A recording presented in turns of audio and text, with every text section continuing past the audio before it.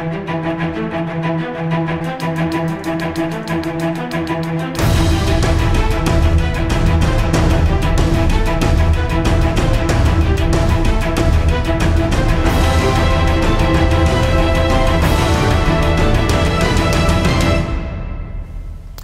Вітаю з вами Шахімат. Мене звати Андрій Нікітін. Сьогодні ми говоримо про роботу поліції у період карантину. З нами заступник начальника головного управління національної поліції у Дніпропетровській області Володимир Богоніс.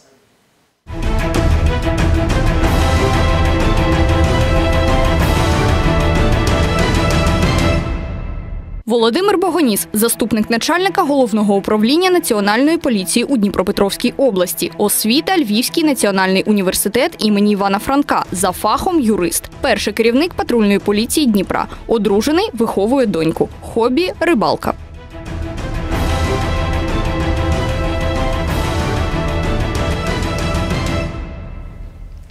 Радий вітати вас у нашій студії. Власне, Володимире Романовичу, перше питання таке загальне: як змінився порядок несення е, служби поліцейськими у період карантину? Вітаю, дякую за запрошення і дякую, що піднімаєте дуже важливу тему. Хочу сказати, що дійсно порядок служби він змінений і більше уваги приділено охороні публічного порядку. І щодня фактично півтора тисячі правоохоронців виходить на службу для охорони громадського порядку. Це приблизно 1200 поліцейських разом з курсантами і близько 300 е, службовців е, Національної гвардії України. Мгм. Володимире Романовичу, минулого разу ми з вами говорили про те, що е, за період карантину можливий ріст злочинності да, у зв'язку з тим, що економічна ситуація достатньо скрутна. От ви фіксуєте якісь такі резонансні злочини, чи можливо збільшення там порушення суспільного порядку у цей період? Ну, поки що в нас немає більш жорстких е, критеріїв, більш там е, сильніших обмежень.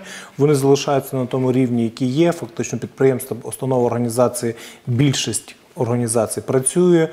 Фізично добратися до роботи також є можливість, тому що основна кількість е, підприємців підприємства організувала доїзд централізовано своїх працівників. Е, Щодо служб е, безпосередньо міських, то міський транспорт ввів е, спецпропуски для пересування по місту. Плюс громадяни налагодили в телеграмах, е, в інших мережах можливість один одного підбирати і довозити. Тому ми не бачимо якоїсь дуже такої серйозної соціальної напруги. Вона не зростала. Вона була на тому рівні, яка із ми, ми фіксували в березні місяці.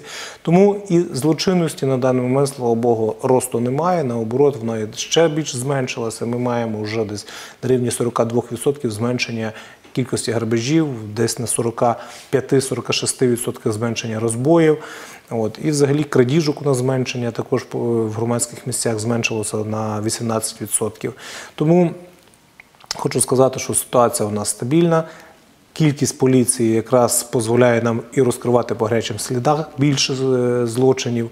Тому вважаю, що поки що у нас немає жодних передумов для різкого зростання. Але е, якщо, наприклад, ми побачимо, що після травневих свят чи після Великодня буде якийсь е, спалах хвороби в нашому місті, тому то можемо очікувати все.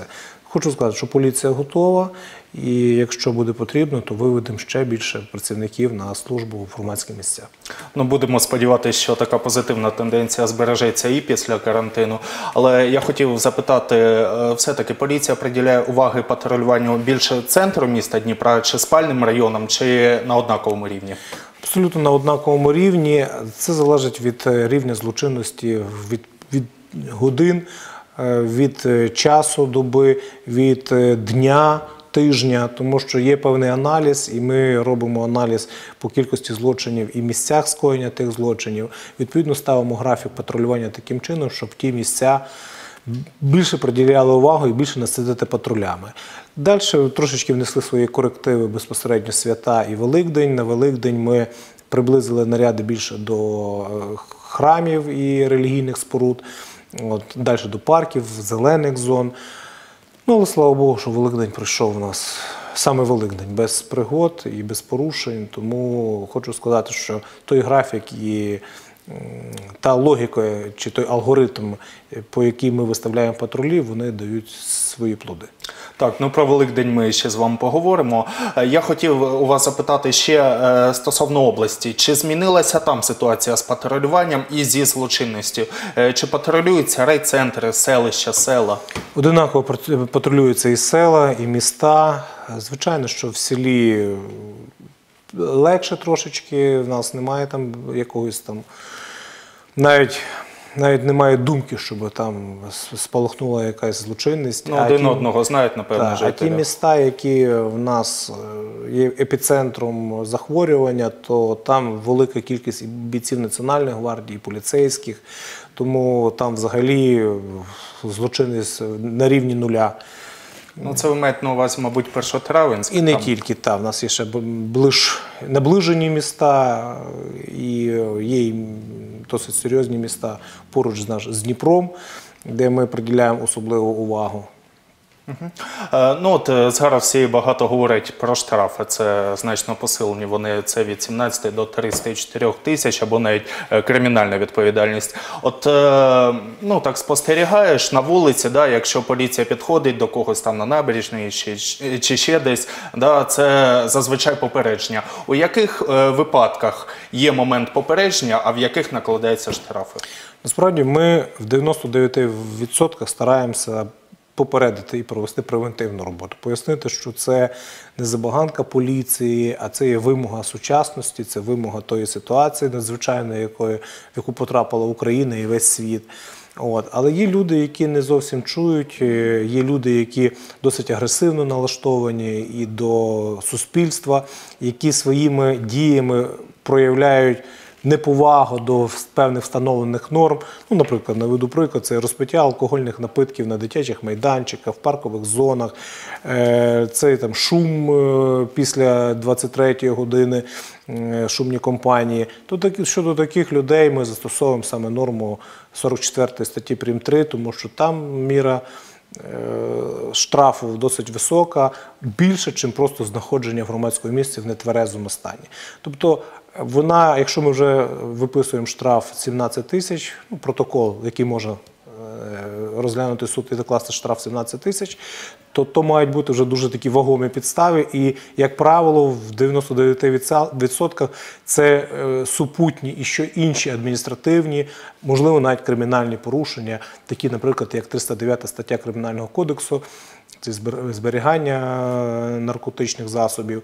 Ну, Ми бачимо там закладчики, деколи ходять по дитячим майданчикам. Ми, ми знаходимо ті закладки, досить важко прив'язати до цієї особи, що саме він, але свідки кажуть, що, що він.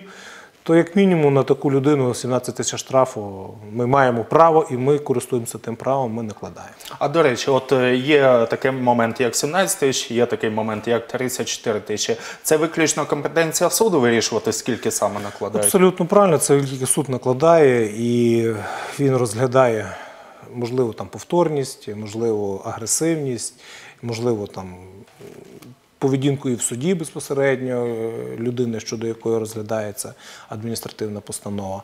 Тому це на розгляд суду. Ага, і от е, все-таки, якщо поговорити трошки про статистику, да, от е, чи багато складено саме цих у період карантину за порушення карантину адміністративних протоколів, можливо, є кримінальні справи? За порушення карантину у нас складено вже близько 1200 адміністративних матеріалів. Це по області. Це по області, так. І ну, це не є мало. Ми взагалі лідери в Україні по складанню адміністративних матеріалів. Але Це хочу добре чи погано, до речі, е, це є, це є нормально. Тут е, не можна сказати, що Дніпропетровщина більше всіх порушує е, норми карантину.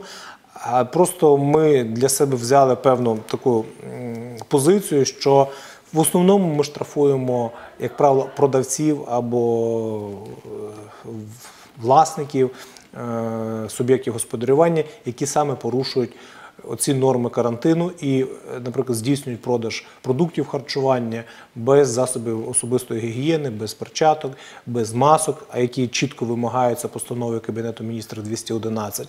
Ми розуміємо, що такі продавці можуть наражати на небезпеку безпосередньо покупців, і від них може дуже багато покупців заразитися. Ми вважаємо, що в умовах такої кризи і тих обмежень, е, ті магазини, ті продовольчі ринки, які працювали. Ну чи будуть вони працювати зараз, також вирішуються місцевими і обласними рішеннями ТБНС. От, вони здійснюють господарську діяльність і на відміну від більшості підприємств, установ організацій, вони і ще заробляють кошти і немалі кошти, тому фізично вони мають можливість і забезпечити своїх працівників е, засобами е, гігієни і е, особистої безпеки. Також вони можуть забезпечити своїх покупців, тому ми вимагаємо хоча б виконання тих норм, які передбачені в постанові Кабінету міністрів, і за невиконання тих норм ми обов'язково складаємо протоколи. Я хочу сказати, що більшість таких протоколів має досить позитивне е, рішення в суді. А можливо, у вас є якийсь конкретний приклад такої, е, такого злісного порушення карантину? Я не знаю, стосовно там тих продавців, стосовно простих мешканців, стосовно, можливо, водіїв громадського транспорту.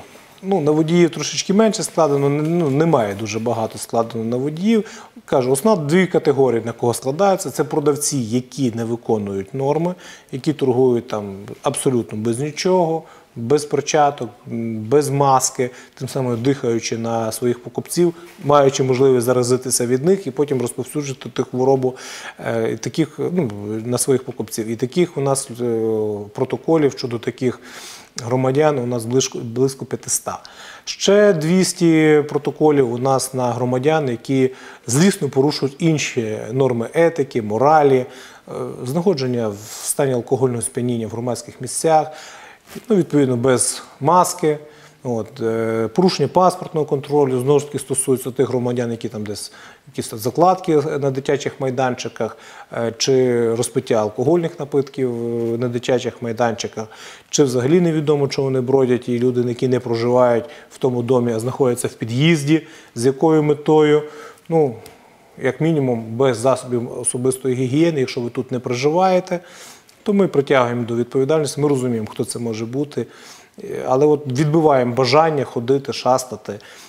Тільки жильці цього дому, цього під'їзду, або хоча б нам внятно пояснили, що вони тут роблять чи до кого вони прийшли. Якщо таких пояснень немає, то таких людей ми притягуємо до відповідальності, і таких у нас вже протоколів під 200. А особливості патрулювання зелених зон. Наскільки я знаю, патрульна поліція там е, не веде спостереження. Це, е, це робота Нацполіції і Нацгвардії. Ні, це абсолютно робота всіх, і патрульна в тому числі, і Національна гвардія, в деяких містах навіть і муніципальна варта приєднується до патрулювання зелених зон. Я хочу сказати, що в неділю в обід ми прийняли рішення зняти бійців Національної гвардії, патрульної поліції і курсантів з зелених зон, тому що в неділю не було там нікого. Фактично люди послухалися, почули. І за це велике їм щире дякую. От, вони не пішли в зелені зони жарити шашлики, в парки не масово не пішли, тому навіть не було потреби, починаючи з обіду неділі, патрулювати зелені зони, тому що фактично порушників там не було. Е, Це у Великдень. Я власне хочу продовжити цю тему стосовно храмів е, 19 квітня, які фіксували порушення взагалі з точки зору поліції. Як пройшов Великдень у Дніпрі? Сам Великдень пройшов на відмінно. Якщо врахувати, що у нас працювало 569 храмів і відвідували ті 569 храмів 5500 чоловік, то, то навіть не по 10 дозволених, так як домовлялися попередньому, то навіть не по 10. Зрозуміло, що на великих храмах десь було більше, в маленьких храмах взагалі було там досить поодинокі тільки священники, паламар. От. Але ми маємо факти порушення до Великодня, ми маємо факти порушення після Великодня. У нас сумнозвісна історія в Троїцької церкви, яка в п'ятницю напередодні.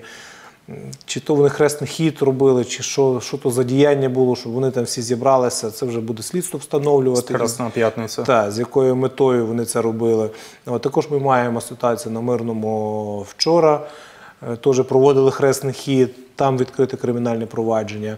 Також ми маємо ситуацію причащання в Троїцькому соборі. Це і на суботу, без- і в, на Великдень маємо. Ну, ми це побачили вже тільки в понеділок, оскільки фізично знаходитися в церкві в мене знаходилася служба. Ну за так, до речі, я у неділю проходив Троїцький собор, він був зачинений. Взагалі, він за зачиненими дверима був. Ми працювали на вулиці, і туди потрапити було бажаючих багато. Ми не пускали, навіть прийшлося нам перекривати Троїцьку площу для того, щоб людей, які прийшли на службу і не хотіли покидати територію, ми мусили мали розставити хоча б там в шахматному порядку з дистанцією. І в принципі нам це вдалося, і порушень, ну значних порушень не було, і навіть нікого не притягувало до адміністративної відповідальності. А щодо священнослужителів, які порушують правила карантину, то там відкриті кримінальні провадження. Ми вважаємо, що це досить суттєві порушення. І вже в рамках кримінального провадження буде їм дана оцінка їхнім діянням, вияснена мета такої поведінки. Можливо, там є щось більш серйозніше. От, ну і вже далі буде відправлено до суду матеріали і будуть притягнути до відповідальності. Ну, зрозуміло, що це буде рішення суду, але з вашої точки зору, чи можуть священника відправити за грати? Ну, я думаю, що там ну, злісності я не бачу, і я спілкуючись зі священником, вони якби визнають свою вину, але вони силаються на те, що є наші канони, ми не хочемо міняти їх. Хоча всі інші священнослужителі поміняли і певні процедури е, певних там таїнств вони поміняли, і нема жодних порушень. І Церква дає їм декілька варіантів, навіть того самого причастя, не обов'язково з ложечки. Можна дати і сухий хлібчик, замочений в вині напередодні, і це буде і тіло, і кров. Будь ласка, так роблять і е, Православна церква України, і Греко-католицька церква, ну в нашій державі роблять. Так робить католицька церква у всьому світі. І ця норма, причому не в період карантину, а в них вже давно. Ця норма прийнята в Європі, і немає ніяких проблем. І люди причащаються, люди сповідаються. Ну, От, е, в ПЦУ прийнята норма загальної сповіді для того, щоб індивідуально не дихати один на одного. Тому я вважаю, і ну, священнослужителі Української православної церкви вони якби визнають свою, свої діяння, просто силаються на певні канони. Ну, канони канонами, а закон законом. Тому будуть відповідати за закон. До речі, порушники були лише зі сторони УПЦ. Виключно зі сторони УПЦ. Ну, це та церква, яку прийнято називати московським патріархатом. Або Російська православна церква. Зараз ідуть суди е, щодо їхньої назви. І я думаю, що за рішенням судів буде прийнято остаточна назва, чи це буде УПЦ, чи УПЦ МП, чи РПЦ. Ну, але ми все говоримо, ми всі говоримо про одну ту саму церкву. До речі, у цьому контексті не можна згадати ситуацію, що сталася напередодні у вербну неділю е, на житловому масиві Тополя 3, храм е, великомучника Пантелеймона. Яка там зараз ситуація? Е, Тобто церква закрита, я так розумію, є якісь кримінальні провадження. Що там відбувається? Ні, церкву ніхто не закривав. У нас немає мети закрити церкву. Там є кримінальне провадження з вербної неділі. Я скажу, що на Пасху це дуже дисциплінувало священнослужителів саме в цьому храмі, і ми там не бачили взагалі ніяких порушень. Там вони зрозуміли, що це досить серйозно. Тому я думаю, що навіть за рахунок того кримінального провадження, яке було відкрите в суботу, ми досить гучно про це сказали і заявили. І е, наші тому самому е, Олегу Чистопольцю хочу подякувати за його активну позицію. І їхня активна позиція активістів вона рознесла, як то кажуть, позицію. І донесла до громадськості. Я вважаю, що завдяки такому такій позиції якраз і люди почули, і священнослужителі більшість, ну рахуйте, 99% також це прийняли. Що серйозно, що не потрібно жартувати з законом, не потрібно підставляти своїх громадян, тому що ну, хвороба вона дуже страшна і не жаліє нікого. І ми, як бачимо, по настоятелях в Києво-Печерської лаври, що вона щодо прихожан, щодо настоятелів, так само. Так само Ну, вона- Святогірська лавра також Святогірська лавра ми маємо. Ми маємо в Почаєві уже закрите місто Почаїв сьогоднішнього дня, тому що досить серйозне розповсюдження цієї хвороби. Тому вона не жаліє нікого. Основна кількість священників це розуміє, але ті, хто не розуміють, будуть, я думаю, в рамках кримінального провадження всю серйозність е, цієї ситуації їм донесуть. Е, Наступна неділя, Володимир Романович, таке питання: чи зможуть дніпряни, жителі області е, прийти на кладовища до померлих родичів? Я думаю, що не зможуть. І ці рішення місцевих комісій ТЕБ і надзвичайних ситуацій будуть прийняті там сьогодні, завтра, післязавтра. І будуть доведені громадянам, що ну не вартує, тому що однозначно ніяких пікніків, там шашликів, розпиття, поїдання чогось на могилах 100% не буде, але я вважаю, що є за необхідність взагалі закрити цвинтарі на період карантину, і туди можна піти після Троїці і на, скажімо так, до, до померлих підійти їх відвідати можна тоді, коли спаде оця пандемія. Я думаю, що тут недовго лишилося місяця півтора, і ми вийдемо на нормальний, як то кажуть, рівень життя. Правда, вже трошечки з іншими нашими принципами і життєвими позиціями. Ну от фізично як це буде відбуватися? Це поліцейські будуть стояти на вході, ходити по самому кладовищу. Як? Думаю, що ми закриємо вхід і на тому все закінчиться. Можливо, через забори хтось буде. Можливо, стрибати. ну будемо тоді притягувати до відповідальності. Ну, Це, це дуже дорого буде стрибати через забори. Е, наступне питання травневі свята. Вже попереду, да, це і 1 травня у нас, е, до речі, минулого року зовсім без демонстрації пройшли, наскільки я пам'ятаю, Е, але всі вийшли на пікніки. Як буде проходити 1 травня і головне 9 травня? Ну, ще дуже дуже дуже рано говорити про це, тому що у нас дуже кожен день міняється ситуація. Поки що ми не бачимо якихось підстав е, вводити якісь більш жорсткі обмеження. Наоборот, була сьогодні заява міністра охорони здоров'я, і я підтримую абсолютно цю заяву. Можна парки відкрити для відвідування, для того, щоб люди могли там десь і пробіжку провести, і свіжим повітрям подихати. Це абсолютно нормально. Тому на травневі свята. Якщо люди вийдуть в парк погуляти без пікніків, без шашликів, я думаю, це абсолютна норма буде. Знову ж таки, є дистанція, є по дві особи. Ті норми прописані в постанові Кабінету міністрів. Їх треба дотримуватися цієї постанови, вона конституційна. І треба це розуміти. Хто дуже- багато каже, що вона порушує норму 33 статті Конституції. Ні, вона не порушує, тому що саме 33 стаття Конституції каже про те, що крім випадків, ну тобто дозволено, звичайно, чи заборонено забороняти, як то кажуть, але е, закон має право заборонити в виключних там випадках. Якраз надзвичайний стан в Україні він є виключним випадком. І е, ми також знаємо, що Конституція має більше трошечки статей, чим 33 стаття, і в нас є стаття 113 Конституції, де сказано, що Кабінет міністрів є вищим органом влади виконавчої. І стаття 117 це дуже важлива стаття, де написано, що постанови та рішення Кабінету міністрів є обов'язкові до виконання. Тому, якщо наші там громадяни зрозуміють, що все-таки постанови Кабінету міністрів вони є конституційні, їх треба виконувати, тому що так в Конституції написано, і будуть дотриматися цієї соціальної дистанції, будуть е, дотримуватися карантинних вимог, носити маски в громадських місцях. Я не кажу, що повсякденно на вулиці це можливо дійсно немає потреби, а от саме в громадських місцях, будь ласка. Будуть ходити не більше двох осіб, і це абсолютна норма, то можна буде трошечки пом'якчувати ті карантинні умови, як мінімум в тих містах, де немає спалаху, 100%. І я буду голосувати за те, щоб були пом'якшені норми, крім двох міст в нашій області. Ну, кажу, це Кам'янське і місто Першотравенське. В тих містах я би нічого поки що не пом'якшував, тому що є питань дуже багато щодо заражених. Е, Слава Богу, в Кам'янському там що? В Кам'янському у нас є завод ДМК, і в нас він і є осередком зараження. І все-таки я хотів уточнити ще стосовно 9 травня, да, чи зможуть прості люди, ну поки що не зрозуміло, чи буде продовжений карантин, буде, напевне, буде до 12 травня продовжений, потрапити до пам'ятників, скажімо, там покласти квіти чи взагалі Якщо, якщо поряд? дотримати соціальної оцеї безпечної відстані, подвоє, без черг, то я не бачу в цьому потреби, проблеми.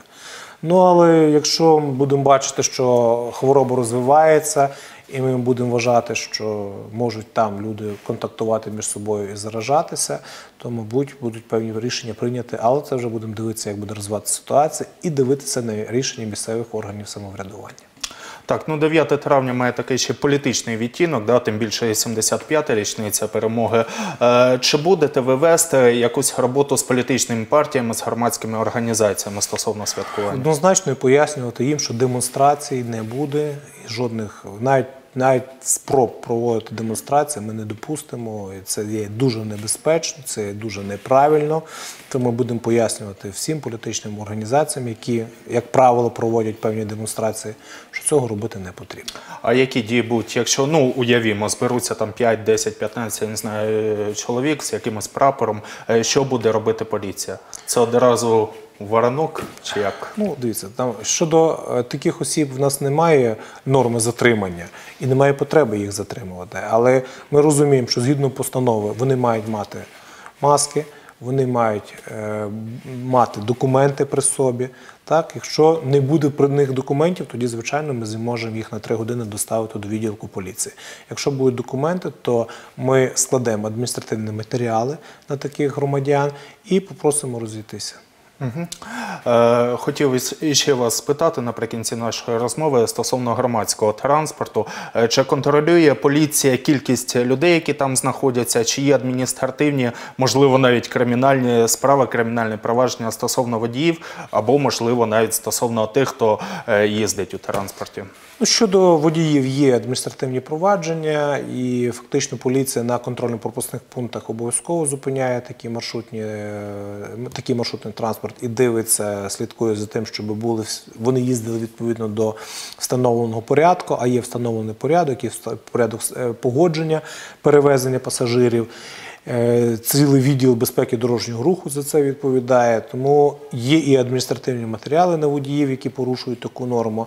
А норма дуже проста: не більше, чим сидячих місць дозволено перевозити громадян. І плюс ці громадяни мають бути в засобах індивідуального захисту. Маски, рукавички. Маски, маски обов'язково, рукавички не обов'язково. Ну і щоб е, підсумувати, з вашої точки зору, чи потрібно вже потроху так виходити з карантину? Я думаю, що у нас є підстави для того, щоб не всю область, але більшість міст потрошечки виводити з карантину.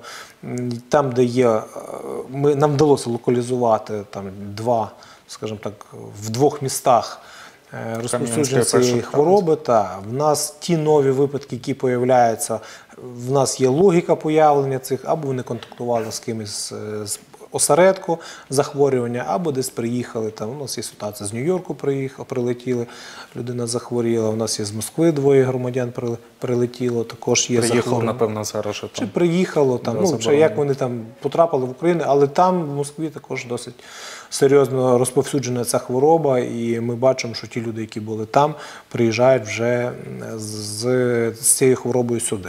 Тому відслідковуємо ті контакти, поки що кажу, вдається нам е, локалізувати. Якогось такого стрімкого зростання немає. Ну так, 6-8 в день. Це я вважаю абсолютно норма. І, як правило, за останні два дні всі, хто захворіли, це було в колі нашого бачення. Це було, вони були на самоізоляції, тобто вони не ходили по вулиці і не розповсюджували цю хворобу.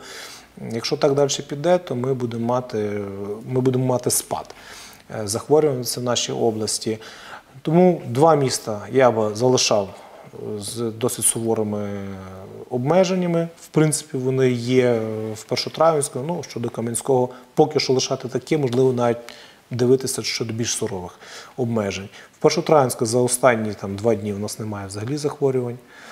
Слава Богу, підтверджених. Є інші в інших містах, але ті, які контактували з людьми з Першотравенськом. Ну, але поки що вдається локалізовувати. Тому є підстави для того, щоб трошечки пом'якшувати карантинні умови. І я думаю, що ну, треба дивитися ще декілька днів і, можливо, з наступного понеділка приймати вже певні рішення. Що ж, я вам дякую за цю розмову. Нагадаю, сьогодні нашим гостем був заступник начальника головного управління Національної поліції у Дніпропетровській області Володимир Богоніс. На все добре.